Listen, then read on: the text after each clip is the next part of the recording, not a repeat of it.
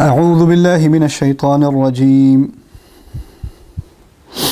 ويوم يعض الظالم على يديه يقول يا ليتني اتخذت مع الرسول سبيلا.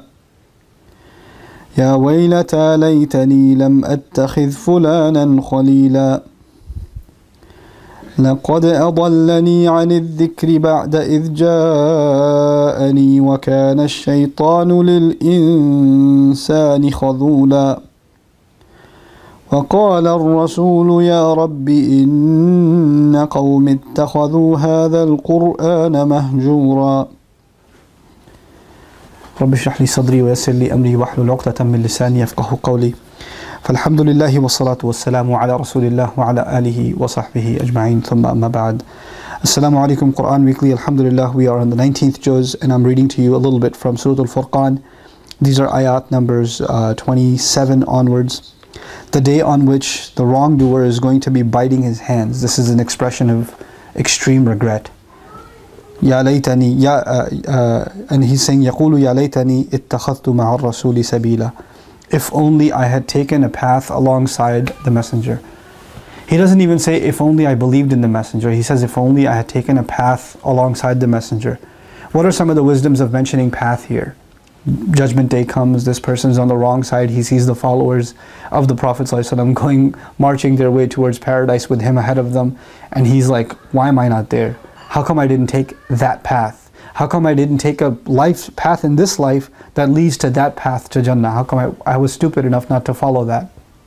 So he's showing that regret. The ayah also highlights that believing in the Prophet loving him, respecting him, revering him, all of that is awesome, but not enough. You have to walk his path. You have to go on his path. You have to live that life. You have to accept his teachings as teachings that apply to your lifestyle just having regard for him isn't enough. And the true proof of love and regard for him is that his instructions mean more to us than what we want to do. You know? So he says, I wish I had taken a lifestyle up that was alongside, consistent with this messenger, the messenger sallallahu alayhi wasallam. And then he blames his friends. Ya laytani, ya, ya waylata laytani lam attakhidh fulanan khalila. Oh my God, the worst possible thing has happened to me. If only I didn't take that guy as a friend. You know that guy, what's his name?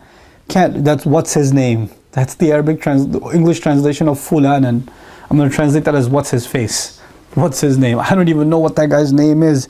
But man, I used to hang out with him all the time. We spent all our time together. He's the one that told me Islam is stupid. Who needs to follow it? Why are you getting why are you getting caught up in this crowd? Leave these people. They're dumb. They don't even know how to live life. Religion is for idiots.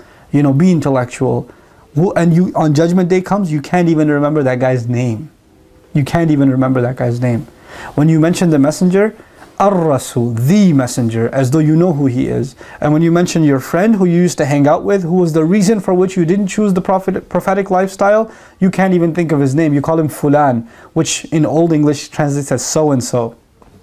Whoever, whatever that guy was. That I translated as what's his name.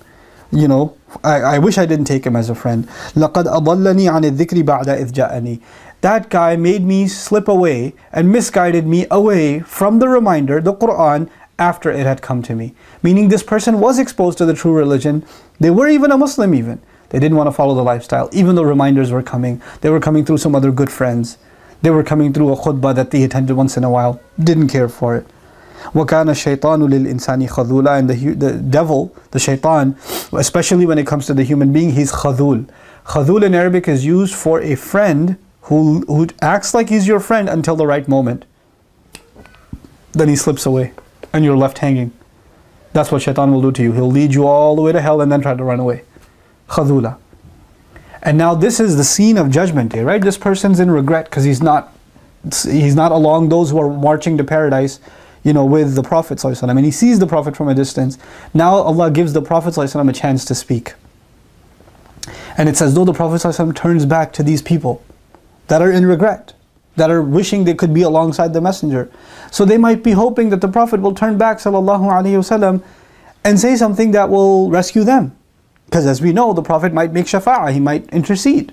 So what's he going to say? So Allah says, وَقَالَ الرَّسُولُ يَا رَبِّ إِنَّ قَوْمِ اتَّخَذُوا هَذَا الْقُرْآنَ مَهْجُورًا He says, the messenger will say, My master, this nation of mine, this group of mine, these part of my people, this could be referring to the Quraysh who disbelieved in the Prophet, ﷺ, but it's not limited to them. It could also be members of this ummah. That's classical tafsir too. Members of this ummah that didn't care for Allah's book, Allah's teachings, but call themselves Muslims anyway, just Muslim by name, Muslim by, uh, by, by inheritance. You know, uh, just just because it's been passed down as a Muslim name. Allah says about them, these are the people, they took the Quran, hadha Quran, this Quran, this Allah didn't even say He doesn't even say that Quran, He says this Quran because the Quran is near, it's accessible. It's not like you have to make great hurdles to come to it. And He says he, they took it and they abandoned it, they left it. Now imagine the people against whom Allah's Messenger is testifying. He's testifying about these people, they couldn't take the Quran seriously. You and I have to take the Quran seriously. I know we're supposed to be spreading messages of hope and optimism, but we're also supposed to be honest with each other. This, this matter, it, this is a matter of salvation. You and I, whether we accept it or not, whether we live a life that is based on actual reality and how things are going to go down on Judgment Day, whether you care about Judgment Day or not, it's still coming. Whether you believe it or not, it's still coming. Whether you're fasting this Ramadan or not, it's still coming. Whether you're praying or not, it's still coming. Whether you're obeying Allah in everything you do or not, it's still coming. There's no escape from it. You want to think about it and you don't want to think about it, it won't change reality. It is still coming. And we will still have to stand. And we, the only thing we have right now is Allah's book and each other to remind each other and the, the, the, great legacy of our Prophet ﷺ to remind each other and say, let's get our act together. We don't want to be on the wrong side on that day. May Allah make us of those who took a path alongside the Messenger ﷺ in this life so that we can march with him into the paradise on Judgment Day.